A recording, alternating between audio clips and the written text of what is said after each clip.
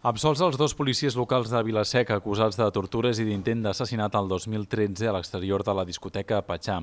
El tribunal conclou que no se'ls pot condemnar per la impossibilitat de determinar com van succeir els fets ni la participació dels acusats. També afirma que no existeix relació entre les lesions que va patir l'home i l'actuació dels dos agents. Davant els dubtes i que no es poden declarar els fets com aprovats, la sentència es decante per l'absolució.